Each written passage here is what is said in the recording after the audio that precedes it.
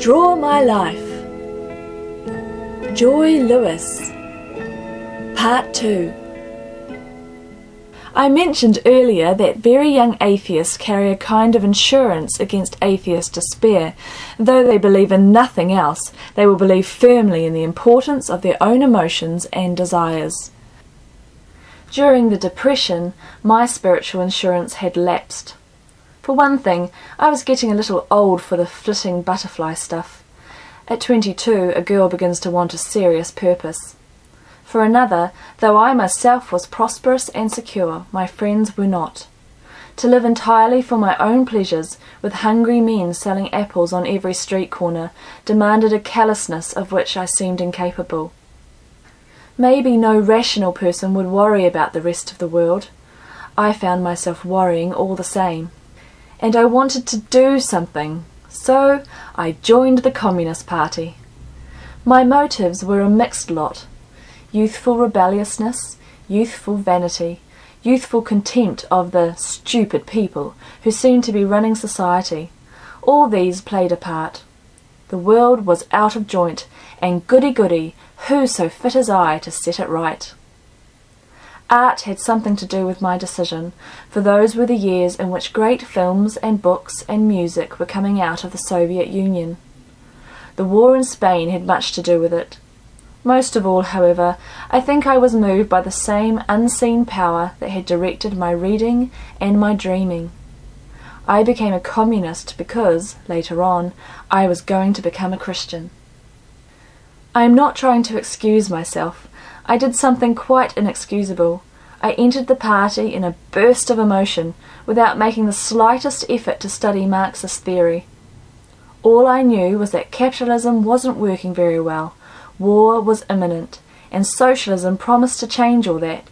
And for the first time in my life I was willing to be my brother's keeper, so I rushed round to a party acquaintance and said I wanted to join. Wait a minute, said she, listening suspiciously to my bubblings. You mean you want to join for the sake of other people? Then and there I told my first lie for the party. Her tone warned me that I was in danger of rejection. To hell with other people, I declared. I want to join the Communists for my own sake, because I know I can't have a decent future without socialism. My friend relaxed and smiled. My Marxist education, the process of getting rid of my bourgeois values, had begun. I went to the meetings in Madison Square Garden, I and 20,000 like me, and there we felt ourselves linked by that surge of spiritual power which unites all meetings of genuine worshippers, whatever they worship. A feeling of solidarity, we called it in our horrible jargon, and never remembered the text that runs, Where two or three are gathered together in my name, there am I in the midst of them. Later, however, the dry rot began. Like the fabulous snake that swallowed its own tail and vanished, the corrupt philosophy of Marxism devoured the very motives that made Marxists of us. Self-interest is the law, I was taught. The ultimate victory of the party was my victory. My visionary fairyland transferred from somewhere out of space to somewhere ahead in time began to seem at last a possible, even a probable goal. The Never Never Land turned into the Comes the Revolution country. I was working for heaven on earth, in short, and that end justified all means, and so the means I used began to corrupt me. I had no idea what was happening to me, of course. Most American communists are anything but scholars, as their leaders ruefully admit, they are unwilling to master Marxist theory, though it is true that the party makes every effort to teach them. In consequence, communist philosophy works on them by stealth. They do not see the deadly change from losing self in class to losing class in self. They never guess that they will end by justifying as the future good of the working class every imaginable indulgence of their own pride. With my few scraps of knowledge, I was accepted almost at once as a journalist and critic on the party's semi-official magazine, New Masses. And I began to learn. I learned that love of the people made it all right for us to lie to the rank and file of the party. Still worse, that in practice our vague love of the people turned into quite specific hatred of the people's enemies, and that the enemies of the people were all those of every class and opinion who happened to disagree with the party. Hatred to us was a virtue, and much as we hated fascism, we hated even more bitterly the anti fascist liberals who were our rivals for the support of Labour. I can remember a new Masses editor, while the war against Hitler was at its hottest, saying solemnly, We can see now that the real enemies are the Social Democrats. I learned too that my judgment of a book or movie must depend not on its artistic merit, but on its Marxist orthodoxy, or even on whether its author was a liberal contributor to the party's needy treasury, and that at the sight of a hero, a martyr, or a genius, I must say, not how wonderful, but how can we use him? I resisted all this somewhat, but mostly I gave in to it, even before pressure was applied, and then persuaded myself that it wasn't there. By nature, I am the sort of woman who nurses sick kittens and hates to spank her bad little boys. Yet, as a Marxist, I would have been willing to shoot people without trial. In practice, I willingly gave my spare time, my spare cash, my love of truth, and my artistic conscience. Fortunately for me, I was never asked to do anything more dangerous than that. There were, however, some signs of health in me, I made jokes at the party's expense. I continued, in the teeth of the party's contempt, to read fantasy, and I utterly failed to read the dreary books we called proletarian novels. Though I reproached myself bitterly for it, moreover, I was bored at meetings. Presently I married a veteran of the Spanish War, the writer, William Lindsay Gresham. Together we made a startling discovery. Marriage had ended overnight, all our lingering interest in going to party social gatherings. I realised then a hitherto unsuspected attraction for the young which the Communist Party shares with the Church Social. It is a great matchmaker. My husband had lost his enthusiasm for communist speeches in Spain. What war did for him, childbirth did for me. My little son was a real thing, and so was my obligation to him. By comparison, my duty to that imaginary entity, the working class, seemed the most doubtful of abstractions. I began to notice what neglected, neurotic waifs the children of so many communists were, and to question the genuineness of a love of mankind that didn't begin at home. Meanwhile, the party itself was changing. During the Depression, an honest anger at injustice and misery had brought many able and generous men into it. Now, a renewed faith in America and dismay at the antics of the Soviet Union took them out of it again. The few who remained were chiefly embittered failures, more interested in revenge on the existing society than in building a better one. What had been the leading cultural force of the 30s dwindled, in the 40s, to a circle of amateur Russian agents. Far from being the sinister and efficient conspirators of newspaper imagination, however, the present communists are so clumsy that they antagonize American workers every time they open their mouths. By 1946 I had two babies, I had no time for party activity, and was glad of it. I hardly mentioned the party except with impatience, and yet, out of sheer habit, I went on believing that Marxism was true habit, and something more, for I had no knowledge of divine help, and all the world had lost faith in gradual progress. If now, in the day of the atomic bomb, I were to lose my trust in violent means of creating heaven on earth, what earthly hope was there? A year or so before this, my interest in fantasy had led me to C.S. Lewis, the Screwtape Letters, and The Great Divorce. These books stirred an unused part of my brain to momentary sluggish life. Of course, I thought atheism was true, but I hadn't given quite enough attention to developing the proof of it. Some day, when the children were older, I'd work it out. Then I forgot the whole matter. That was all on the surface. And yet, that was a beginning. Francis Thompson symbolized God as the hound of heaven pursuing on relentless feet. With me, God was more like a cat. He had been stalking me for a very long time, waiting for his moment. He crept nearer so silently that I never knew he was there. Then all at once he sprang. My husband had been overworking. One day he telephoned me from his New York office I was at home in Westchester with the children to tell me that he was having a nervous breakdown. He felt his mind going. He couldn't stay where he was, and he couldn't bring himself to come home. Then he rang off. There followed a day of frantic and vain telephoning. By nightfall there was nothing left to do but wait and see if he turned up, alive or dead. I put the babies to sleep and waited. For the first time in my life I felt helpless. For the first time my pride was forced to admit that I was not, after all, the master of my fate and the captain of my soul. All my defences, the walls of arrogance and cocksureness and self-love behind which I had hid from God, went down momentarily, and God came in.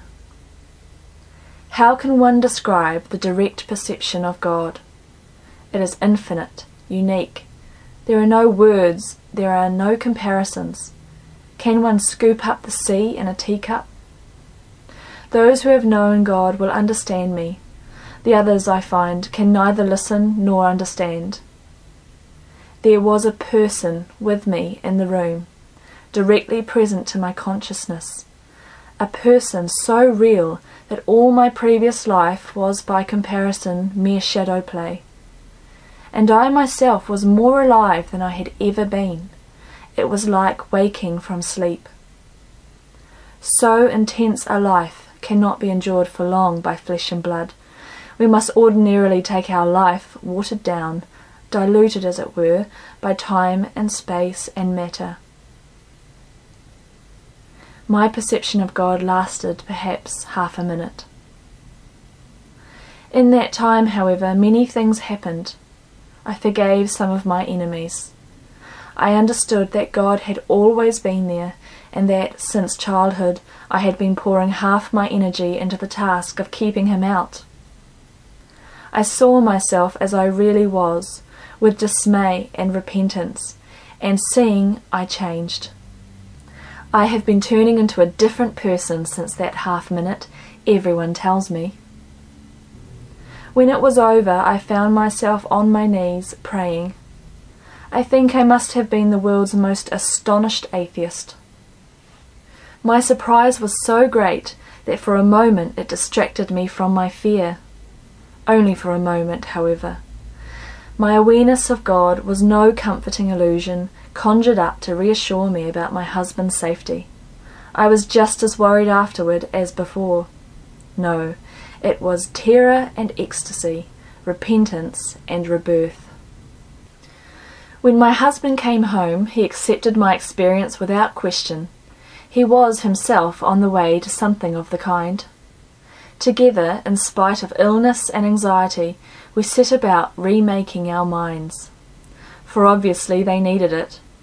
If my knowledge of God was true, the thinking of my whole life had been false.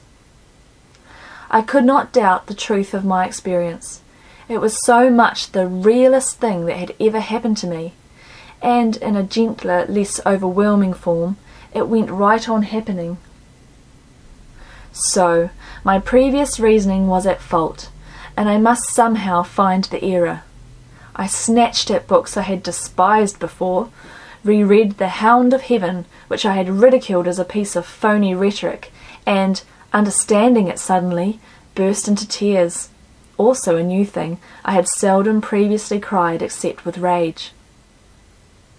I went back to C.S. Lewis and learned from him, slowly, how I had gone wrong.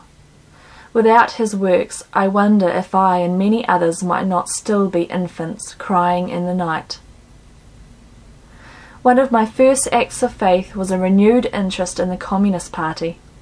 Logical enough, for though materialism had proved false, I still thought Marxist economic theory was sound. While I remained an atheist, party work had been a matter of inclination. But once I recognized God, I recognized moral responsibility, and it seemed I had a duty to do party work whether I wanted to be a communist or not. If I had found, as I thought, a mistake in Marxist philosophy, my job was to show that the party didn't need atheism. Couldn't socialism be built upon the golden rule? And so I did at long last what I should have done in the first place. I studied Marxist theory. It was a difficult and painful study. Inch by inch I retreated from my revolutionary position. Fallacy after fallacy, contradiction upon contradiction, absurdity upon absurdity turned up in Lenin's Materialism and Empirio-Criticism, one of the basic textbooks of Marxist philosophers. This is not the place for taking dialectical materialism apart. Enough to say that it was unsound as philosophy to begin with, and that its scientific foundation had been swept away by Einstein's early work even before Lenin wrote. Even yet, I did not quite give up. I tried to cling to Marxist economics at least. Then I realized that this economics assumed an infinitely increasing food supply, and that any farmer knew better. I reminded myself of the wonderful achievements of Soviet Russia, and realized that I had taken them all on faith. I had no idea what went on in Russia. Gradually, my communism shriveled up and blew away like a withered tumbleweed. I cannot tell exactly when it went, but I looked and found it gone. And something else had come in its place. I was by no means a Christian at first. All my atheist life I had regarded the apostate with traditional Jewish horror. What I wanted was to become a good Jew of the comfortable Reformed persuasion I had the usual delusion that all religions mean the same thing. Fortunately, I had learned my lesson, and this time I looked before I leaped. I studied religions and found them anything but the same thing. Some of them had wisdom up to a point. Some of them had good ethical intentions. Some of them had flashes of spiritual insight but only one of them had complete understanding of the grace and repentance and charity that had come to me from God. And the Redeemer who had made himself known, whose personality I would have recognized among ten thousand. Well, when I read the New Testament, I recognized him. He was Jesus. The rest was fairly simple. I could not doubt the divinity of Jesus, and step by step Orthodox Christian theology followed logically from it. My modernist objections to the miraculous proved to be mere superstition, unsupported by logic. I am a writer of fiction. I have made up stories myself, and I think I can tell a made up story from a true one. The men who told of the resurrection told of something they had seen. Not Shakespeare himself could have invented the synoptic gospels. My beliefs took shape. I accepted the sacraments as meaningful but not magical. I recognized the duty of going to church while I rejected the claim of any church to infallibility and an absolute monopoly on divine authority. So what I was, it appeared, was a Protestant Christian of the orthodox Trinitarian kind. The church nearest my present home in Dutchess County, New York, happened to be Presbyterian. I visited it and found that its theology suited me well. Perhaps I should be equally at home with Methodists and Episcopalians and some others, but it was in the Presbyterian Church of Pleasant Plains that I was baptized in 1948 and saw my children baptized, and there, if I may, I will remain.